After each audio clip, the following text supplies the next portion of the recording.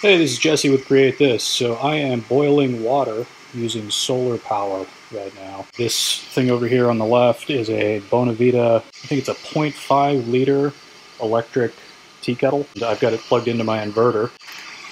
And according to the power here, we're pulling in 150 watts of solar. From the battery, we're pulling 53 amps and 693 watts from the battery kind of interesting. My, my solar panels, I've got 400 watt solar panels and I don't have them optimized for uh, input right now. They're still in my winter configuration, even though it's kind of getting the more springish angles for the panels. It takes about two minutes to boil the water, and I have some nice uh, tea from the sun. It takes about 15 to 30 minutes to recharge the battery usually. It pulls the voltage down pretty considerably because this is a 12 volt system.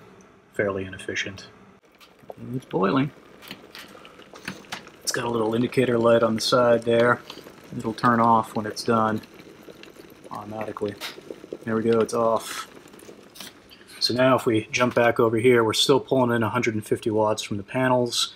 We're down to 92.8%. Uh, the voltage jumped back immediately to 13.25 volts. It was probably at 13.4 uh, before we started. We are now depositing 137 watts from the panels into the battery and we've drained 3.7 amp hours. We're now putting in 10 amps. Pretty interesting. Tea from the sun. This is Jesse with Create This. Thanks for watching and please subscribe.